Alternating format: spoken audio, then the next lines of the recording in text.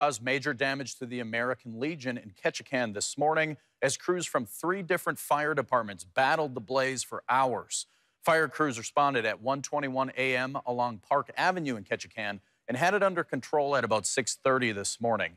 Ketchikan Gateway Borough Mayor Rodney Dial says this is the only American Legion post in the borough and it serves a variety of roles in the community. He says the building was heavily damaged and is possibly a total loss.